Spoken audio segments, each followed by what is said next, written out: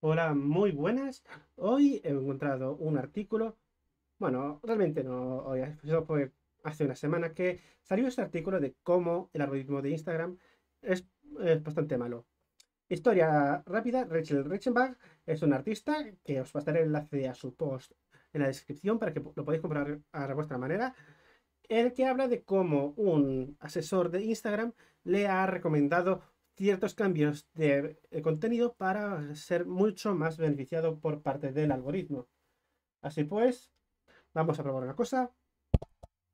el micrófono bueno está. Muy bien. Así pues, básicamente el algoritmo es imparcial. No le interesa, no sabe diferenciar si tu arte es bueno. Eso a empezar. Segundo, a Instagram le importa poco lo que seas.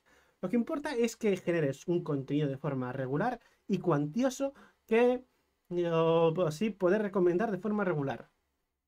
Así pues, el mundo sabe que si eres dibujante es muy complicado ya que un dibujo bueno te puede tardar varios días y igual no tienes la confianza de mostrar tus procesos. Instagram se la suda.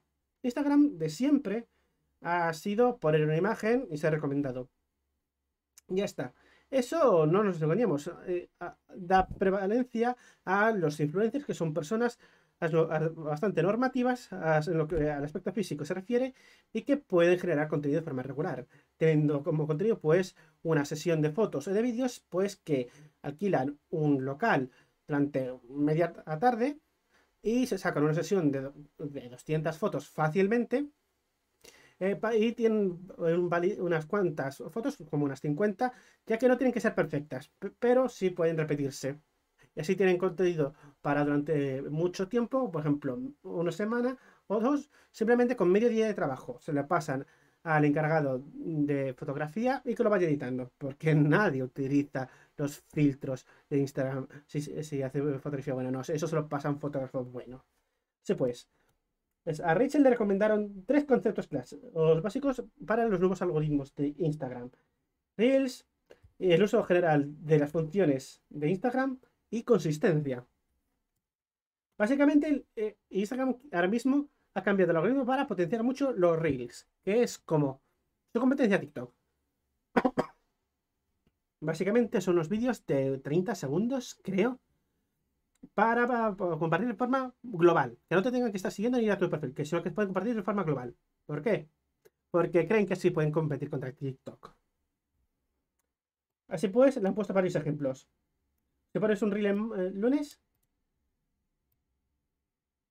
este es tus posts del martes al viernes, tienen, una, un boost en popularidad. Y si no pones un reel en dos semanas, se, considera que lo estás dejando. Y en este algoritmo te Perdiza muchísimo. Si estoy cortándome mucho es porque tengo heridas en la lengua. Según Mr. Instagram, lo ideal sería 4 o 7 reels a la semana. Y a menos que tú sepas actuar medianamente bien, o seas una persona con una conciencia física muy alta, es complicado. O te vas a sacrificarte mucho. Muchas de esas cosas están conectadas, así que... Este, esta rana. Ahora sí, es que eh, aconseja un reel a la semana, mayormente. Así pues, Instagram también, después de eso, busca que utilices todas sus funciones. Eso significa posts, stories, reels e Instagram TV. ¿Por qué? Porque quieren que tú puedas producir contenido para todo el mundo. Le da igual si tus dibujos son buenos o malos, le importa ah, que seas consistente y una fábrica de contenido. Se puedes, desde Instagram me aconsejan tres posts en tus puedes decir normales, 8 o 10 historias, preferiblemente 2 al día, y a 4 a 7 reels a la semana, eso es una brutalidad. A menos de que te pongas a hacer playback. En serio, no sé cómo lo piensas hacer o 1 a 3 Instagram TVs a la semana. Si puedes, eh, Rachel, el artista, recomienda otras cosas. Dos historias por día se puede hacer. Puedes poner a tus mascotas o, tu casa o lo que ves por, la ventana. De hecho, hasta sería sano marcarse paseos de forma regular. Un reel a la semana. yo que sé, ahí puedes hacer anuncios o recabando la semana o lo que hay próximamente. Y no recomiendo exactamente eh, Instagram TV porque tampoco ha visto mucho o mejora y tampoco se le da demasiada atracción con eso. Y constancia en el número de eh, posts que puedas hacer. Este es el tercer punto. Constancia. Debes ser consistente eh, sobre el tiempo. Por ejemplo, debes hacer cierta cantidad a la semana o de vez en cuando cada día. Y sobre todo es importante que intentes que sea a la misma hora siempre que publicas. Así, evidentemente, esto tarda más tiempo y hace que eh, se recomiende cuando ya llevas un tiempo con una suficiente tracción. Pero lo que es, Rails te da muchísima tracción, Stories también te, da algo de tracción, Instagram TV no, sé, eh, no estoy del todo seguro, y las publicaciones normales sí que dan tracción, pero quieren que lo complementes con eh, Stories y Reels. ¿Qué es lo que intentan?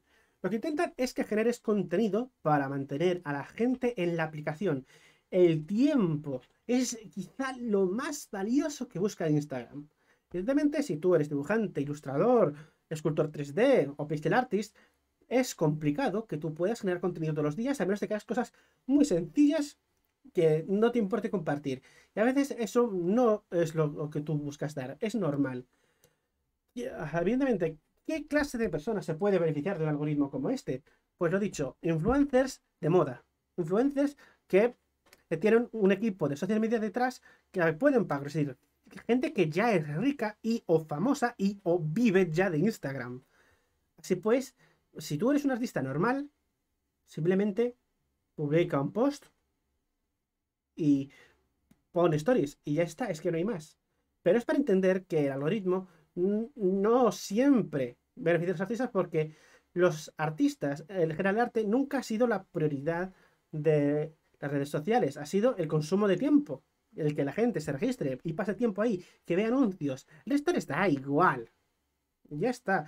Ah, mm, es complicado o que, o, que se poniendo artistas como o se pide mucho, como por ejemplo, escoger qué recorte quiero, quieres que haya ah, de tantas las mejoras como, como esperan, porque no lo van a hacer. O mejorar la calidad de la imagen. A la gente le da igual al 99,9% de la gente, eh, con que se vea medianamente bien, sobre todo porque esta gente está usando el móvil, pues igual les da. Es que no les importa mientras se vea la clave bien. Evidentemente, por eso yo siempre que recomiendo a la gente a la hora de utilizar redes sociales, siempre les digo que lo último que deben hacer es utilizar redes sociales como portfolio. Que si quieren utilizar algo de portfolio, que busquen o Wix o Weebly o DeviantArt, Station o Behance para hacerse un portfolio público que poder compartir en, la gente. DeviantArt sigue siendo demasiado comunitario y centrado en artistas y ha pasado por épocas que, no se va a recuperar. Eclipse está siendo odiado. Station es una red social sí que está pensado para artistas con ofertas de trabajo y demás. aunque el hecho de que se puede comentar no me termina de gustar. Behance está asociado sobre todo a Adobe y eso puede chaparse en cualquier momento, pero bueno, Wix y Weebly son plataformas de creación de webs que puedes sacarte de lo puro, pero en general es esto, que estáis, estamos todos, tanto los artistas jodidos, porque los artistas nunca somos ni seremos una prioridad de, cara a, los o, accionistas de Instagram y luego Twitter y, Twitch, pues ya digo yo que no. Porque si hay un artista mega famoso, habrá 20.000 personas más que tendrán más influencia, por ejemplo, políticos, presidentes, actores. Si puedes, mm, mi consejo, eh, busca formas de automatizarlo. Sé que hiciste la, la cambiada, así que no recomendaría el ahora mismo. No estás dispuesto a pagar. Si puedes. Simplemente sube y ya está. No te preocupes demasiado.